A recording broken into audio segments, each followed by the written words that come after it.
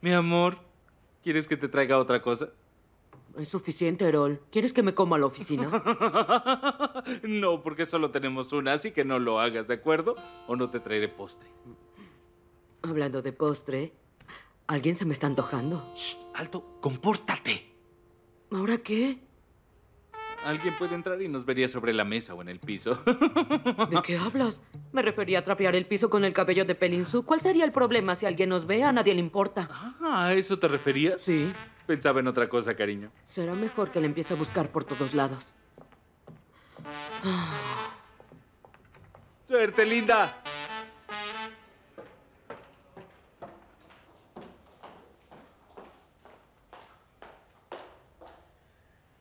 Bulímica.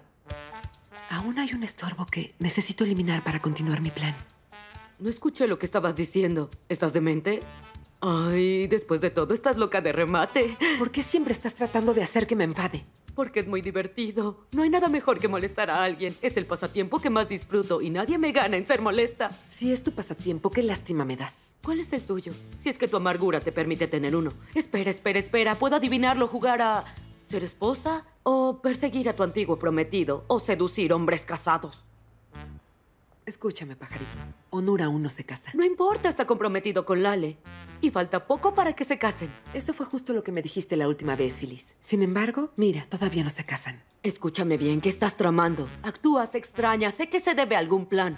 Quiero que entiendas lo siguiente. Si afectas a Onur y Lale, o si sé que hiciste algo para sabotear su amor, o eso planeas, entonces te garantizo que sufrirás el resto de tu vida.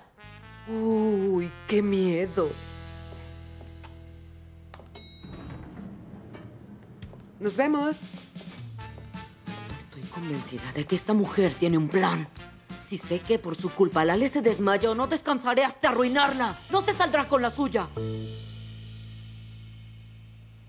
Oh, Nergis. Ah, si hubiera tenido la suerte de haberte conocido antes, te aseguro que las cosas serían muy diferentes. Oh, de lo contrario, hubiera sido la mujer más feliz del mundo conmigo, amor. Erol,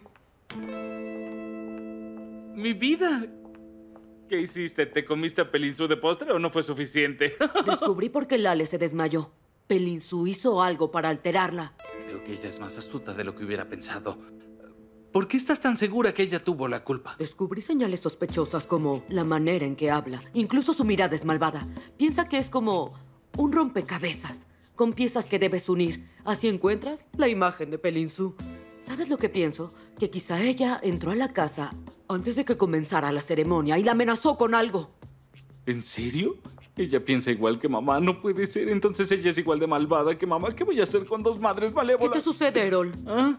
Es que me quedé pensando. ¿Crees que Pelinsu haya hecho algo para amenazar a Lale el día de su boda? ¿Y Lale por qué no ha dicho nada? Es sospechoso. Voy a resolver este misterio. Voy a resolverlo, Erol. Te deseo suerte. İçimdeki aşk esir almadan durmalıyım Gülümse hadi karanlıklardan çıkmalıyım